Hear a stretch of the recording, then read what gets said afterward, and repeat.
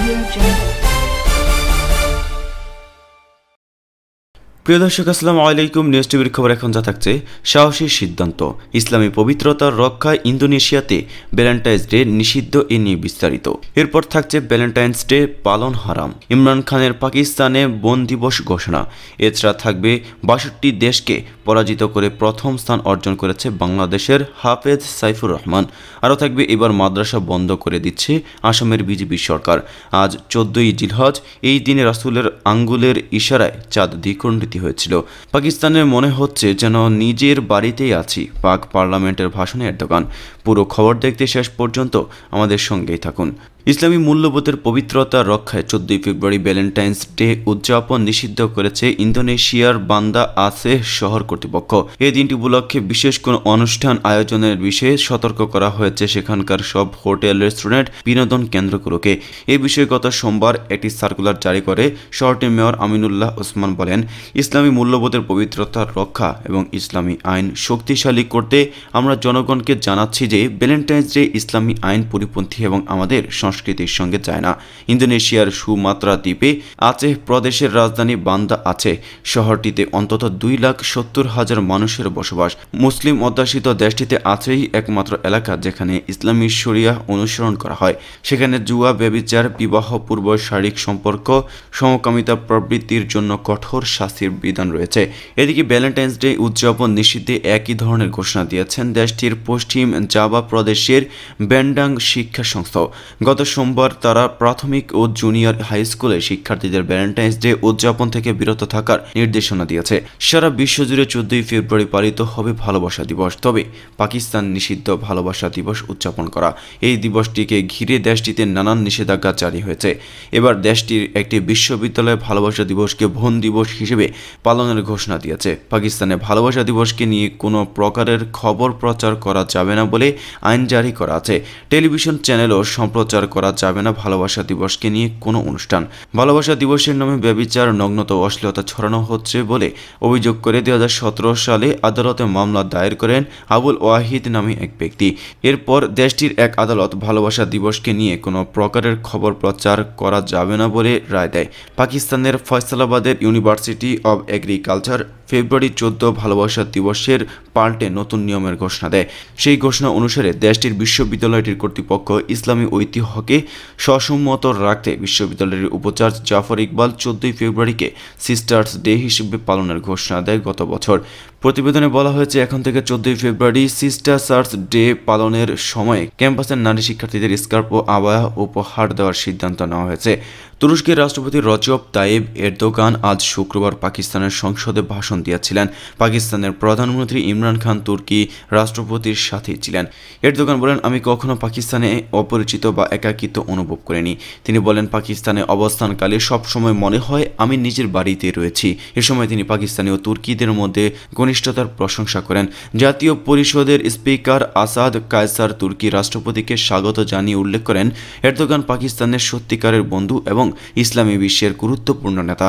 তুর্কি প্রেসিডেন্ট ভাষণের জন্য আসলে সংসদের সদস্যগণ ডেস্কে পাথর মেরে তাকে স্বাগত জানান। এরপর পার্লামেন্টে পাকিস্তান ও তুরস্কের জাতীয় সংগীত বাজানো হয়। রাষ্ট্রপতি এরদোগান সিনেটরদের ধন্যবাদ জানিয়ে তার বক্তব্য শুরু করেন। তিনি সংসদে ইমরান খানকে লক্ষ্য করে বলেন, আসুন মুসলিম বিশ্বের জন্য আমরা ইতিহাস তৈরি করে নেই। এরদোগান দেশটিতে পৌঁছানোর পর টুইটারে মারহবা এরদোগান ট্রেড চালু হয়েছে।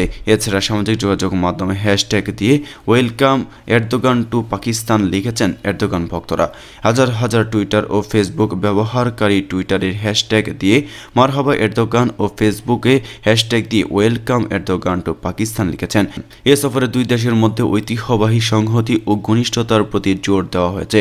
এছাড়া পাকিস্তান তুরস্কের কৌশলগত অংশীদারিত্বের প্রতি জোর দেওয়া হচ্ছে বলে জানায় পাক পররাষ্ট্র মন্ত্রণালয়। সফরে এরদোগানের সঙ্গে তার মন্ত্রিসভার জ্যেষ্ঠ সদস্য, সরকারি কর্মকর্তা ও ব্যবসায়ী নেতারা রয়েছে। ভারতের আসাম সরকার সেখানকার সরকারি মাদ্রাসা ও সংস্কৃতি কেন্দ্রগুলোকে বন্ধ করে দিয়েছে। আগামী ছয় মাসের মধ্যে প্রতিষ্ঠানগুলোকে সাধারণ বিশ্ববিদ্যালয়ে রূপান্তর করা হবে। বিজেপির নেতৃত্বে থাকা রাজ্য সরকারের শিক্ষামন্ত্রী হিমন্ত বিশ্ব শর্মার বরাদ দিয়ে বৃহস্পতিবার ভারতীয় সংবাদ মাধ্যম এ খবর দিয়েছে।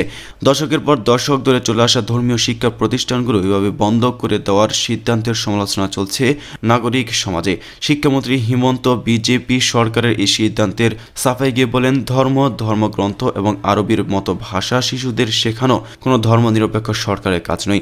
সংবাদ মাধ্যম বলছে, দুই হাজার সতেরো সালে মাদ্রাসার পাশাপাশি সংস্কৃত কেন্দ্র বোর্ডকে মাধ্যমিক শিক্ষা বোর্ডের সঙ্গে একীভূত করা হয়েছিল। এবার তা পুরোপুরি বন্ধই করে দিচ্ছে বিজেপি সরকার। শিক্ষামন্ত্রী হিমন্ত বলেন, এখানে কোনো স্বতন্ত্র ভোট ছাড়া প্রায় বারোশো মাদ্রাসা ও দুইশো সংস্কৃত কেন্দ্র চলছে।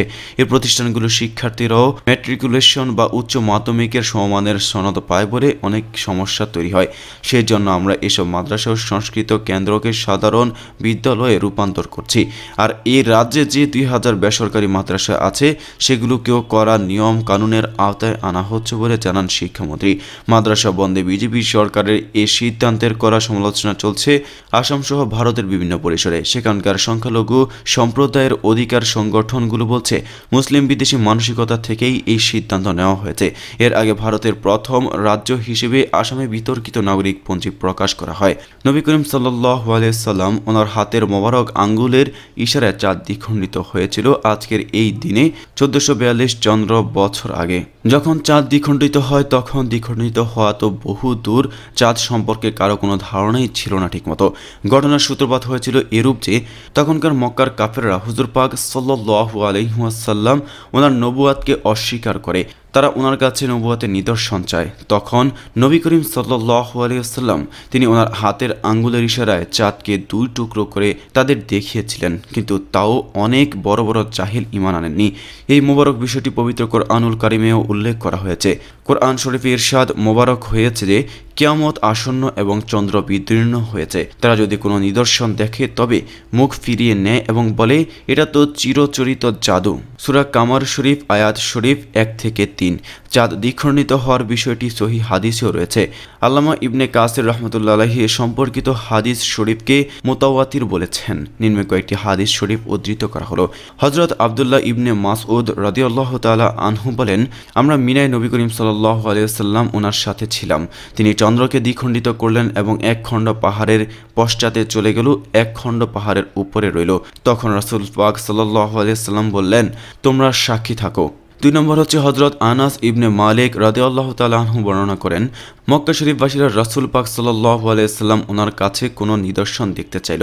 তখন রাসুল পাক সাল্লাহ আলাইসাল্লাম মহান আল্লাহ তালা ওনার হুকুমে চন্দ্রকে দ্বিখণ্ডিত করে দেখিয়ে দিলেন। তারা দেখতে পেল যে চাঁদের দুই খণ্ড হেরা পাহাড়ের দুই পার্শ্বে চলে গিয়েছে। আমরা মুসলিম হিসেবে ইসলামকে বিশ্বাস করব কোরআন হাদিস অনুসারে। ইসলামের যে কোনো কথা আজকের কথিত বিজ্ঞান সমর্থন করুক বা না করুক, এতে আমাদের কিছু যায় আসে না। বিজ্ঞানের উপরে নির্ভর করে ইসলামে বিশ্বাস করাটা আসলে একটা প্রতারণা ও মূর্খতা ছাড়া কিছুই না। এক ধরনের ভণ্ডামি। নিজেকে একজন মুসলিম দাবি করে এদিকে ওদিকে বিজ্ঞানের সমর্থিত হলে ইসলামের কথা বিশ্বাস করে এমন ভণ্ডকে বলে মুনাফেক। ইসলামের তথ্য মতে, মুনাফিকের স্থান সপ্তম জাহান নামের সর্বনিম্ন স্তরে, যেখানে কোনো কাপের ও প্রবেশ করবে না। মহান আল্লাহ পাক তিনি আমাদের সবাইকে সঠিক ইমান অর্জন করা তৌফিক দান করুক, আমাদের ক্ষমা করুক এবং জাহান্নাম থেকে রক্ষা করুক।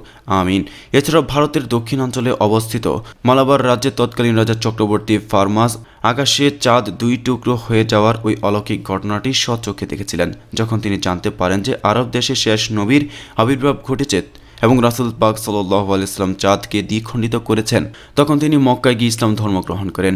আজ থেকে চোদ্দশো একচল্লিশ চন্দ্র বছরের আগে চোদ্দই হজ নবী করিম সাল্লাহ আলাইসাল্লাম ওনার মোজেজার প্রকাশ হিসেবে ওনার এই পাক পবিত্র আঙ্গুল মোবারকের ইশারায় পূর্ণ চাঁদ দ্বিখণ্ডিত হয়েছিল।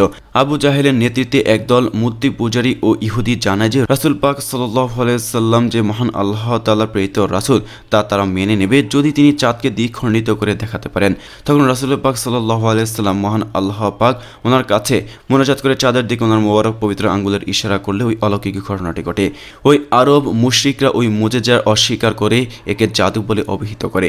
কিন্তু উপস্থিত ইহুদিরা চাঁদ দুই ভাগ হওয়ার ঘটনা ঘটার সঙ্গে সঙ্গে ইসলাম ধর্ম গ্রহণ করে। কারণ ওই ইহুদিরা তাওরাতে পড়েছিল যে হজরত মুসা আলাইসাল্লাম ওনার উত্তরসূরি হজরত ইউসা আলাইহিসাল্লাম ওনার জন্য মহান আল্লাহ পাক চাঁদ ও সূর্যকে স্থির করে রেখেছিলেন। ভারতের ইতিহাস গ্রন্থ তারিখি ফেরেস্তায় ওই ঘটনা উল্লেখিত হয়েছে। চিরামান রদি আল্লাহ তালা আনহু ওনার নামে ভারতের কেরালা রাজ্যে একটি মসজিদ রেখেছে। ভারতীয় রাজা যে এই ঘটনা দেখেছিলেন, তার লিখিত বিবরণে একটি প্রাচীন দলিল বর্তমানে লন্ডনে ভারতীয় দূতাবাসের লাইব্রেরিতেও সুরক্ষিত রয়েছে। ওই দলিলে ভারতের সেই রাজা ভ্রমণের বিস্তারিত বর্ণনা আছে। ওই রাজা ভারতে ফেরার পথে ইয়েমেনে মারা যান।